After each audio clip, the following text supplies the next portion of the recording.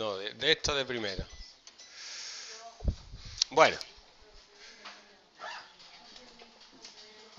Pronombre sujeto. Pronombre objeto. ¿Cuál es la diferencia? Los pronombres sujetos son I, you, he, she, it, we, you, they. Los pronombres sujetos van,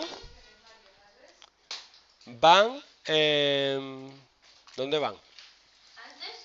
Muy bien, delante del verbo. Indican el sujeto. ¿Vale? ¿Quién realiza la acción? El estudio del inglés viene muy bien también para la lengua. Pues tiene que saber, tiene sujeto, tiene predicado.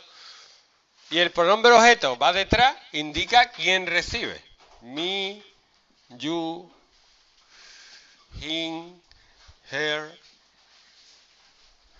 it, us, you, them.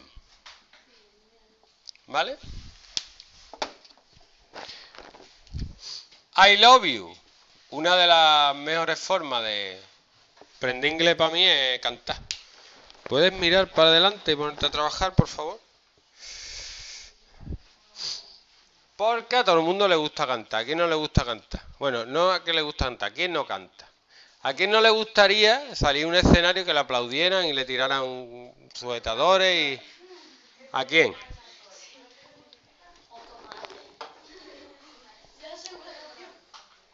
I es el sujeto.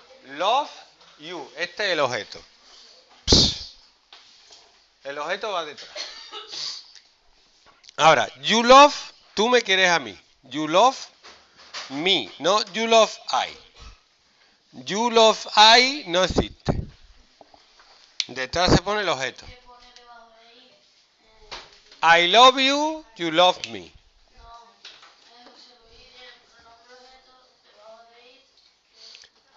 As.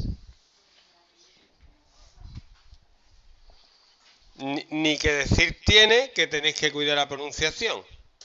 Yo entiendo que mucha gente desde el principio que empieza a aprender inglés, como no quiere aprender inglés, pues ni pronuncia ni nada. Y otra gente dice que le da vergüenza. Yo la vergüenza no me la creo, es flojera, ya está. Oh, voy a aprender yo ahora cómo se pronuncia. Entonces, cantando, aprendes a pronunciar sin querer. Vamos, yo fui cuando fui a recoger a mi perra Dana, allí la mayoría de la gente son guiris. Y yo estaba hablando con ellos, y cuando me fui dije, venga, hasta luego. Entonces se dieron cuenta de que yo era español. Entonces, solo al final, una mujer estaba y dijo, ¿pero tú eres español? Digo, pues claro, yo soy de Estepona. Pero esos son, pues, que canta, que habla, que escucha, que... Pero eso es un aprendizaje natural, no un aprendizaje obligado. Yo naturalmente me gusta el inglés, escucho música en inglés, veo películas en inglés, leo libros en inglés, entonces sé inglés. Pero no obligado, no, es que deja aprender inglés porque... La razón de aprender un idioma es clara y obvia. Aprender cómo piensan otras personas. Hay personas distintas que hablan otros idiomas y a través del idioma conoces otras costumbres y otras formas de vivir y te hacen más rico. No en dinero, sino en conocimiento.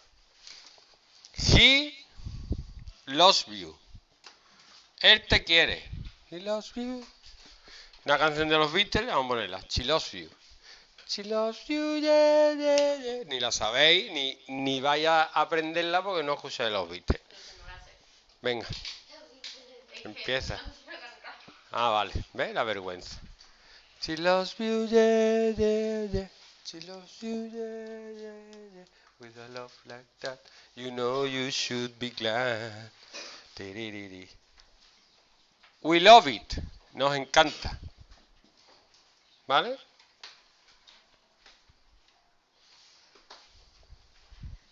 They hate us. Nos odian.